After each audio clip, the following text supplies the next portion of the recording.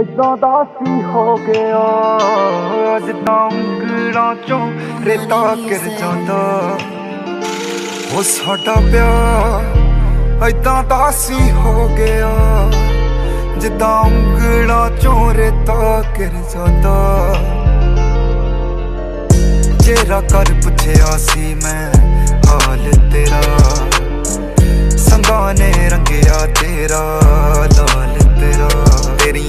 ਤੇਰੀਆਂ ਫਿਕਰਾਂ ਵਿੱਚ ਲੰਘਿਆ ਪੂਰਾ।